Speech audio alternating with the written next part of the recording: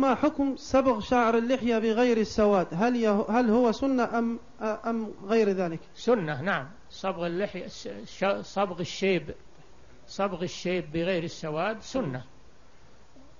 وبعض العلماء يرى أنه واجب ولكن الصحيح أنه سنة.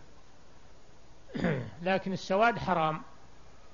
أما غير السواد من ألوان من الألوان فلا بأس. نعم.